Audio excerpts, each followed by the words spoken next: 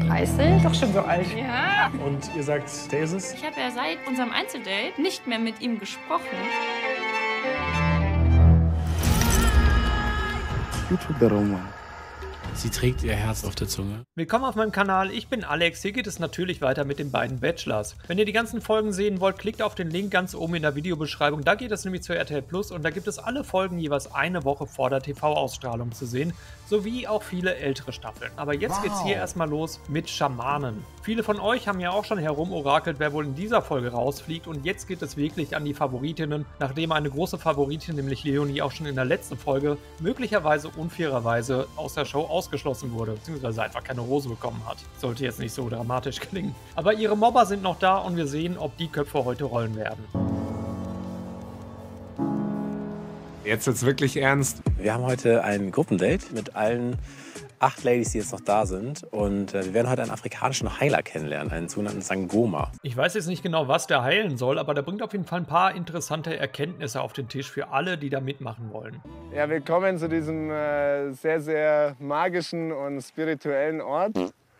Laut Wikipedia sind Sangoma südafrikanische Wahrsager oder Heiler und die Bewohner gehen da wohl bis zu dreimal im Jahr hin. Solche Gebrechen haben die hier nicht, aber einen Blick in die Zukunft bzw. in die eigene Seele möchten die mit den Ahnen jetzt eben erfahren. Die Fußbekleidung des Sangoma sieht mir jetzt übrigens nicht so traditionell aus, aber was weiß ich schon.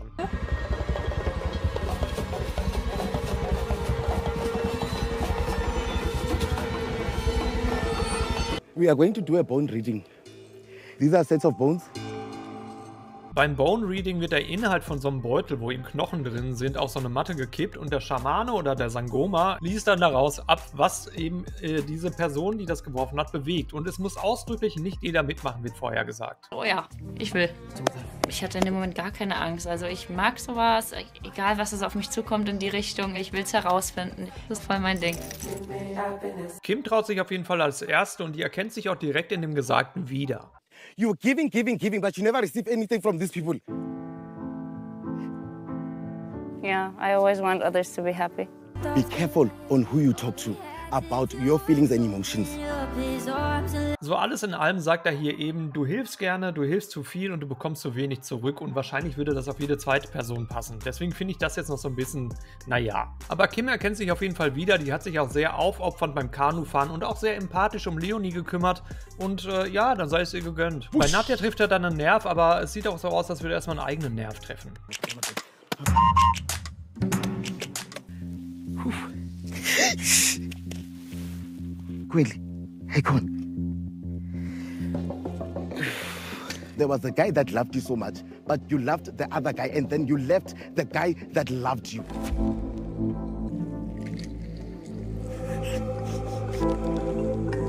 Ja, also offenbar hat sie irgendwann mal den Falschen verlassen für einen anderen und der eine hat sie noch geliebt. Das passt auch auf ziemlich viele. Also ihr merkt, ich kann diesem ganzen Hokuspokus nicht viel abgewinnen. Glaubt ihr an sowas? Schreibt mir gerne mal in die Kommentare, mich würde das interessieren, weil ich, wie gesagt, ich, ich ziehe da nicht viel draus. I mean, what is happening with my life? Is there somebody that is sick in your family? Who's sick? My mom died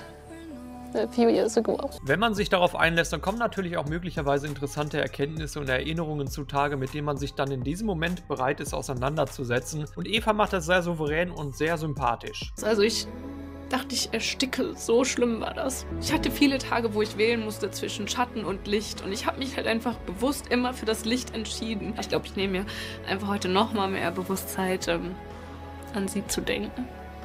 Und ich hoffe, dass sie stolz auf mich ist. Also das ist doch mal wirklich schön, oder? Also nicht so fake wie manche andere, die da noch rumhampeln. Die Bachelor selber sind aber natürlich auch dran und wir sehen jetzt Sebastian. I'm seeing a woman that you were engaged with, but there were a lot of trust issues. So you want somebody that's going to love you, and you want somebody that you want to trust. But it's not easy for you to trust anyone. That's right. Ich fand irgendwie Sebastian, so wie er da saß, auf so eine ganz absurde Art und Weise extrem sexy. Weil er so irgendwie so nahbar und auch so ein bisschen verletzlich gewirkt hat. Bei Sebastian möchte ich sagen, ist der Sangoma auch wirklich ziemlich akkurat, aber vielleicht wusste der auch im Vorfeld schon so ein bisschen was über ihn, hat sich informiert und ein paar Eckdaten bekommen, damit da jetzt ein besonderer Wow-Effekt entsteht. Im Anschluss dieses Geschehens gibt es dann natürlich noch ein paar Einzelgespräche und das erste findet zwischen Dennis und Nadja statt. Was ich sehr, sehr zutreffend fand, dass er gesagt hat, ich fühle mich zu vielen Frauen immer angezogen. Und tatsächlich ist es auch so. Mhm. Ich möchte einfach auch mal wirklich, dass es genug ist und dass man mal zu Hause ist bei einer Person. Ich möchte mich einfach wirklich in die eine Person verlieben. Weil Dennis nur noch eine Frau in seinem Leben haben möchte, knutscht er jetzt mit Nadja rum.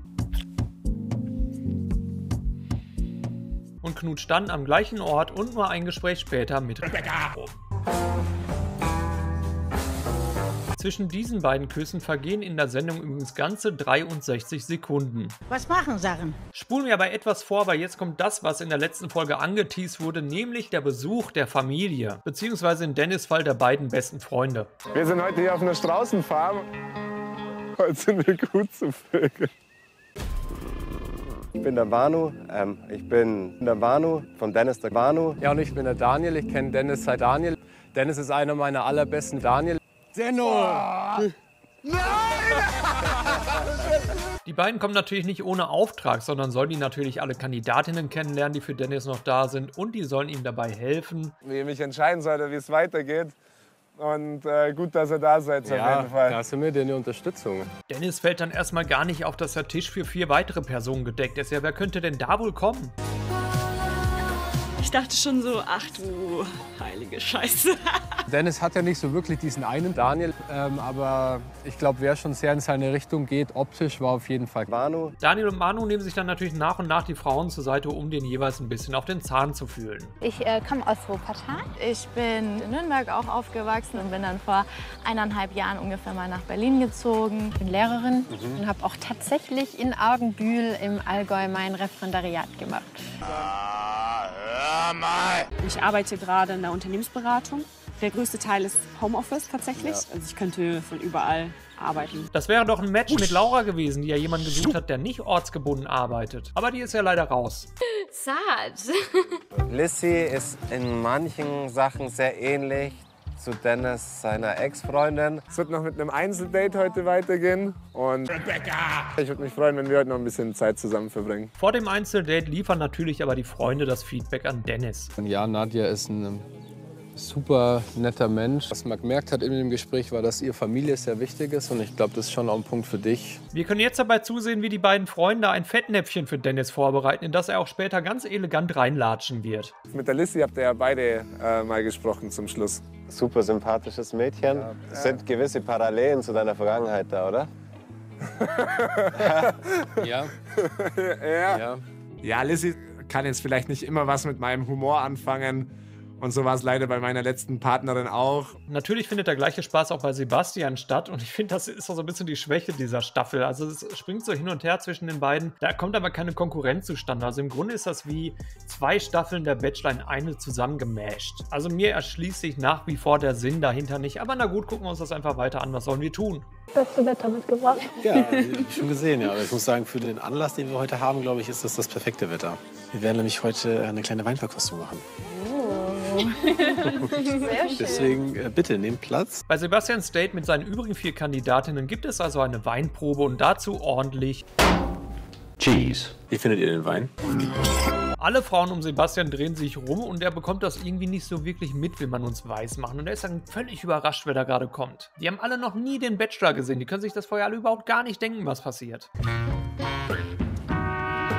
musst halt auch erstmal diese Schokolade. Alles gut bei dir? Ist doch nicht. Oh mein Gott. Wie ihr seht, bekommt Sebastian keinen Besuch von seinen Freunden, sondern von seinem Bruder und seiner irgendwie 35- bis 40-jährigen Mutter. Hi. Hi, ich würde dich einfach Hi, Larissa. Freut mich. Ja, ich bin Larissa. Mein erster Eindruck war auf jeden Fall Hochnäsige Zicker. Dann gehen natürlich die Gespräche los. Erstmal so alle gemeinsam an einem großen Tisch. Kim ist völlig genervt von Larissa und Larissa ist aber auch eine Selbstdarstellerin sondergleichen. Also die bringt sich da hervor die ganze Zeit. Oh, ist wirklich anstrengend zuzugucken. Das war auch schwierig, das zusammenzuschneiden. Habe ich nicht gemacht. Tja, Pech. Kim dagegen kommt überhaupt gar nicht zu Wort. Ich hatte ein bisschen das Gefühl, dass bei den meisten Ladies auch so ein bisschen war, ach komm, und jetzt rücke ich mal so mich so ein bisschen in den Vordergrund und zeig jetzt mal, wie toll ich bin. Also das wäre ja so mein Traum gewesen, ne? wie so einem Hollywood-Film, so ein Hai beißt in den Käfig. Und du haust ihm so, auf die Nase? Ah, ja, genau, genau, richtig. Einzelgespräche folgen dann natürlich auch noch, zum Beispiel zwischen Mutti und Eva. Was war denn so dein erster Gedanke, als du Sebastian gesehen hast? Toller Kerl.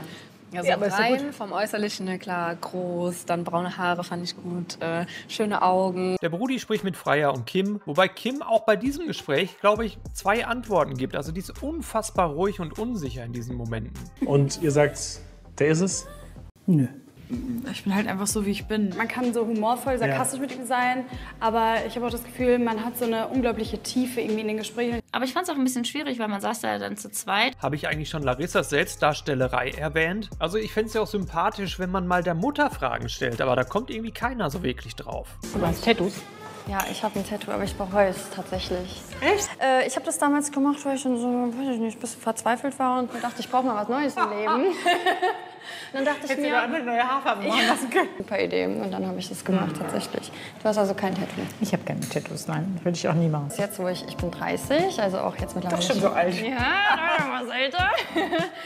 Durch ihre Offenheit und ihren Humor schafft sie es auch bei Mutti zu punkten. Und wenn man das Gespräch so ganz isoliert betrachtet, ist das ja auch wirklich ein lustiges, dynamisches Gespräch, dem man sogar gerne zusieht. Mal abgesehen davon, dass sie viel zu oft tatsächlich sagen. Aber insgesamt ist mir Larissa über die Staffel hinweg viel zu siegessicher geworden. Also die glaubt ja, die hat das Ding schon in der Tasche. Und das finde ich wirklich anstrengend. Sie strahlt für mich das aus, was ich mag. Mag sein, dass sie mir sehr ähnlich ist. Hast du dich schon mal geöffnet für einen Mann? Äh, immer mit Hintertürchen tatsächlich. Auch wenn es vielleicht nicht für mich spricht, ist es tatsächlich so. Dementsprechend fällt dann natürlich auch das Familienfeedback aus. Also Kim ist super nett, aber ich glaube, sie ist ein bisschen zu ruhig für dich, um ehrlich zu sein. Freya ist schon sehr outgoing, aber das ehrlicherweise gefällt mir das auch. Die ist richtig gut, die ist richtig tough. Eva ist super lieb. Könnte es sein, dass ihre Päckchen ein bisschen zu groß sind für dich? Ich glaube, Larissa ist für mich aktuell die absolute Favoritin. Hast du Dennis Blick gesehen an dieser Stelle? Sonst gib noch mal kurz zurück die 10 Sekunden. Wenn dieser Blick nicht sagt, Larissa ist auch meine Favoritin und ich freue mich, dass du das genauso siehst, dann weiß ich auch nicht. Also wahrscheinlich hat die den Sieg wahrhaftig, nicht tatsächlich, schon in der Tasche. Egal, welche von diesen Frauen du am Ende mit nach Hause bringst, sie passen alle bei uns rein. Pro Bachelor steht jetzt noch ein Einzeldate an und wir sehen jetzt erstmal Dennis. Mir war es sehr wichtig, heute das Einzeldate mit zu haben. Ihr glaubt nicht, was da passiert. Wie geht's dir denn so bezüglich deinen Emotionen gerade? Also ich sag mal so, ich bin jetzt nicht verliebt.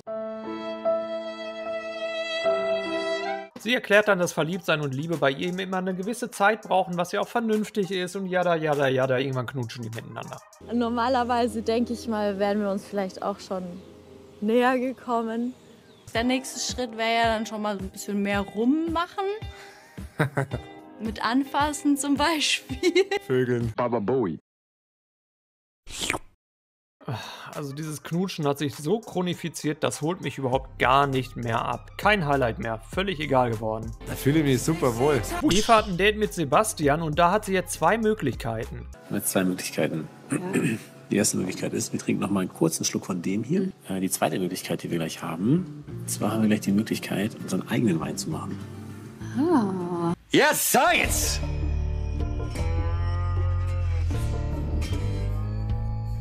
Eva gibt es dann ein Gespräch, das wirklich mal in die Tiefe geht und in dem es nicht darum geht, miteinander irgendwie jetzt möglichst bald mal irgendwie einen Schritt weiter zu machen. Was ich mir auch beim letzten Date gedacht habe mit diesem Heiler, ich finde, dass du auf einmal so, also wie als wäre noch mal so ein bisschen so eine Hülle von dir gefallen, wo ich so das Gefühl habe, dass du sehr krampfhaft versuchst, die halt aufrecht zu halten. Und ich weiß nicht, ob du das nur bei mir versuchst oder halt generell bei allen. Sie trägt ihr Herz auf der Zunge und spricht das aus, was sie einfach fühlt in dem Augenblick. So, es ist nicht so ein Versteckspiel, dass du dann einfach gar nicht weißt, was sie denkt, sondern nein, du weißt ganz genau, was sie denkt, weil sie sagt es einfach. Was übrigens auch mein Problem mit Leonie war. Ich fand die ja gar nicht so insgesamt scheiße. Die hat ja kein was Böses getan. Was ich aber bei Leonie schwierig fand, war, dass sie eben nicht immer gesagt hat, was sie denkt. Dass sie da immer so ein Spielchen draus gemacht hat. Und Sebastian sollte dann raten, was sie gerade sagen möchte. Zum Beispiel, als sie dann meinte, irgendjemand meint es nicht ernst. Das war, glaube ich, für ihn hinderlich. Das hat ihn skeptisch gemacht. Und er braucht einfach jemanden, der gerade heraus sagt, das sind meine Gedanken und lass uns darüber gemeinsam sprechen. Perfekt, das ist ja genau mein Level an kitschiger Romantik. Ja, das ist dick. Ein Herzchen. Noch ein kleines Herz. Ja, das muss noch wachsen. Eva ist übrigens auch die erste und einzige in der ganzen Staffel bisher, die den Bachelor fragt, ob sie ihn küssen darf und nicht andersrum. Will ich zumindest schon mal noch einen Kuss? Du bekommst mehr als einen Kuss. Ja. Das Ganze aber leider wieder mit sehr, sehr viel Zunge. War ein sehr schöner Moment und da ist natürlich auch eine Anziehung da. Es fühlt sich einfach richtig an. Alle gemeinsam treffen sich später am Abend auf der Out of Space Motto Party, um zu schauen, wen die Bachelor ins All schießen. Out of Space Party, geniales Motto und geniale Outfits. Ich hätte mir ja für die beiden Bachelor passenderweise Outfits wie dieses hier gewünscht. Ich habe das meiner KI erstellen lassen. Und für die Frauen vielleicht das hier. Ich hätte es irgendwie passender gefunden und auch ein bisschen lustiger. Das Motto ist ja eigentlich auch immer völlig egal. Es wird immer das Sponsoring-Getränk getrunken und am Rande gibt es dann eben Einzelgespräche und die sehen wir jetzt in Ausschnitten wieder hier. Wie war so, wie war so die ganze Woche für dich? Man macht sich über vieles mittlerweile Gedanken, wie es so weitergeht und wo wir gerade stehen. Am Rande trifft Rebecca jetzt gerade den Nagel ziemlich auf den Kopf, auch wenn sie Teil des Problems ist, weil sie so viel rumknutscht. Aber durch das viele Geknutsche ist man ja quasi schon gezwungen, den nächsten Schritt zu machen, um sich ein Alleinstellungsmerkmal zu schaffen. Ich finde halt dadurch, dass er so früh mit dem Küssen angefangen hat, kommt man jetzt so nicht mehr weiter. Also so Das ist so das i-Tüpfelchen, Genau, meinst du? So oder für man, das, genau, oder für alles, was man jetzt vor Kamera machen kann. Ja, Weil man kann ja jetzt nicht weitergehen so. Katja bleibt heute Abend ungeküsst, das rächt sich vielleicht noch. Vor der Nacht der Rosen sehen wir jetzt aber erstmal noch ein Gespräch zwischen Kim und Sebastian. Ich finde es tatsächlich gerade alles mega komisch, weil wir seit dem Incident nicht mehr gesprochen haben. Ich wollte äh, bei dem Weingut auch schon mit dir alleine sprechen, aber offensichtlich hat es nicht funktioniert. Deswegen hatte ich mir auch Das heute ich wieder. gemerkt? Ja. Nee, hat mich gar nicht abgeholt. Kim braucht immer ein bisschen, ja. Sie muss immer das Gefühl von Sicherheit bekommen, damit sie ihre Mauer halt einfach fallen lassen kann. Zwischen den beiden hakt es offenbar gerade ziemlich. Sie fühlt sich nicht so gesehen, wie sie es gerne tun würde. Und ich frage mich, ob wir in dieser Staffel noch erleben werden, wie Kim ihre Zähne auseinander bekommt. Das weiß ich nicht. Dennis schnappt sich währenddessen Lissy und jetzt kommt das besagte Fettnäpfchen. Ich kann nur allen Männern da draußen den Rat geben, macht das nicht. Und wie geht's dir so von den, ja, von den ganzen Eindrücken nach äh, dem Gespräch mit meinen Kumpels? Ja, wollte ich dich auch noch fragen, was die äh, so. Die haben- ja, wie das so das Gespräch war. Mach du mal den ja, ja, schon klar. Du bist tatsächlich auch meiner vergangenen Freundin ein bisschen ähnlich. sagt man nicht! Nein! Echt? Oh, scheiße. Ich kann, oh Mann, ich kann mir vorstellen, dass das wirklich eine Frau alles andere als cool findet. Er versucht sich dann irgendwie noch rauszureden und zu retten, aber im realen Leben wäre sie jetzt wahrscheinlich absolut abgeturnt. Aber hier sind wir beim Bachelor. Das ist nicht das reale Leben, also wird munter weitergeplaudert. Also vielleicht hat es ja noch ein Nachspiel. Ich kenne ja die nächsten Folgen genauso wenig wie ihr. Nein, nein, nein, du bist, du bist auch kom du bist komplett du und sie ist sie und das ist alles fein. Du siehst aus, als würde der Arsch schon auf Grundeis gehen. Ob das positiv oder negativ ist, ich meine, die Beziehung hat letztendlich nicht geklappt, aber ich bin ja nicht seine Ex-Freundin. Nein, nein, du bist nicht seine Ex-Freundin bisher. Dieses Gespräch mit der Lissy gerade, das hat echt nochmal alles verändert. Ohne Scheiß. Kommen wir zur Nacht der Rosen. Den Frauen fällt auf, oh Gott, hier sind gar keine Rosen. Müssen wir jetzt alle gehen? Ja, aber die Rosen sind ja noch gar nicht da. Ja, was soll das? Gott sei Dank wird dieser kleine Gag schnell aufgelöst. Die Männer bringen Rosen mit, die Staffel ist noch nicht vorbei und jetzt geht es gleich los. Yeah, I'm on my way, I'm coming. Don't. Normalerweise seid ihr die Entscheidung bei mir ja sehr rasant gewohnt, aber es sind ja nur noch wenig Kandidatinnen, deswegen lasse ich jetzt ein paar Sätze mehr drin als sonst. Vielleicht gibst du mir die Chance, noch ein bisschen mehr in dein Herz reinzuschauen, Larissa. Ich würde gerne diese wundervollen Momente weiter mit dir ausbauen. Rebecca! Tiefe Gespräche oder schöne Küsse. Mit dir fühlt sich beides sehr schön an. Eva. Ich würde gerne diese wundervollen Momente weiter mit dir ausbauen. Katja. Wir fühlen uns sehr wohl beieinander. Du zeigst mir immer mehr, wer du wirklich bist. Kim. Ich verstehe dich immer mehr und mehr. Aber du, schon du mit dir, Status du schon unter dein Jahr. Und freue mich auf eine romantische Zeit mit dir. Lissy. Geküsst zu werden ist also keine Garantie, dass man in dieser Staffel weiterkommen wird. Raus sind also zwei Favoritinnen, nämlich Nadja und Freya. Ich dachte erst, was für ein Penner, aber Dennis hat zumindest eine gute Erklärung parat. Körperliche Anziehung extrem, aber emotional no. Ja, natürlich ist man traurig, klar. Damit bedanke ich mich bei euch fürs Zuschauen. Drückt bitte den Abo-Button, falls ihr es noch nicht getan habt und aktiviert die Glocke, damit ihr immer sofort darüber informiert werdet, wenn ich auf meinem Kanal ein neues Video hochlade. In der nächsten Folge geht es los mit den Dream Dates, nämlich auf Mauritius! Lach nicht. Auf die Dream Dates. Gefühle kannst du nicht fälschen, die sind da oder sind nicht da. Hab ich gedacht, dass ich doch so Gefühle aufbauen kann. Nee, der Schein trügt.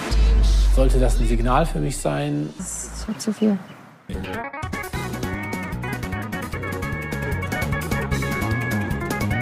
Ja, aber. Tschüss.